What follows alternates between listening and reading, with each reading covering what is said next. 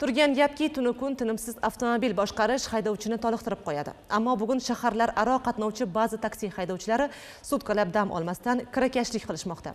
Afsuski bu ko'ngilsiz holatlarga mudhish avtohalokatlar natijasida odamlar qurbon bo'lishiga olib kelmoqda. Navoiyda haydovchi charchoq tufayli tormoz o'rniga gazni bosganligi sababli sodir bo'lgan avtohalokatda ham 22 yoshli yigit bevaqt hayotdan ko'z yumdi. Nuroto tumanining avassoy mahallasi hududida sodir bo'lgan avtohalokat tufayli bir xonadonning boshiga og'ir musibat tushdi. Nexia haydovchisi tezlikni oshirganligi sababli hushyorlikni yo'qotib yo'ldan kesib o'tayotgan 2014 yilda tug'ilgan kamoliddin va charoz o'lmas qizini urib yuboradi. Og'ir tan jarohati olgan charoz kasalxonada vafot etadi. Avassoy mahalla fuqarolar yig'inida ichki ishlar bo'limi xodimlari ishtirokida mazkur falokatning kelib chiqish sabablari muhokama qilindi.